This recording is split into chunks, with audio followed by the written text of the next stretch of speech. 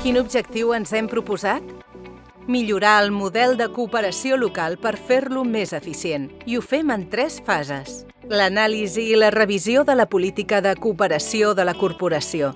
La definició d'un nou model de cooperació de la Diputació de Barcelona, que es reflecteix en el Pla de Concertació de la Xarxa de Governs Locals 2020-2023 i la implementació de millores en el model de cooperació de la Diputació de Barcelona.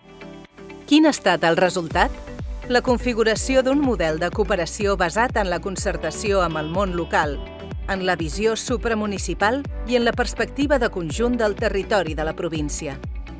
Per què és un projecte innovador o exemple de bones pràctiques?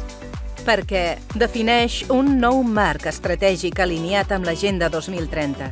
Crea i desplega la taula per a la millora de la cooperació local, activa enquestes de satisfacció per als instruments del Pla XGL 2020-2023. Recull l'opinió de la ciutadania a través de l'enquesta ciutadana d'Iberòmetre.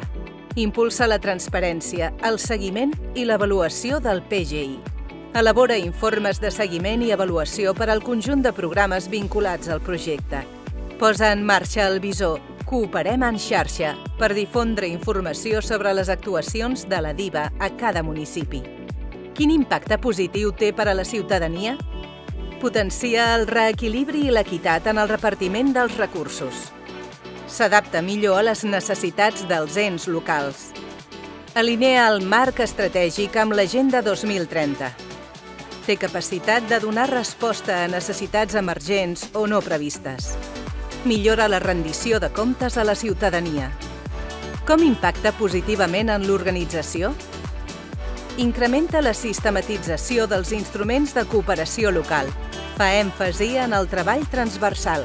Enforteix la cultura de l'avaluació contínua. Impulsa la corresponsabilitat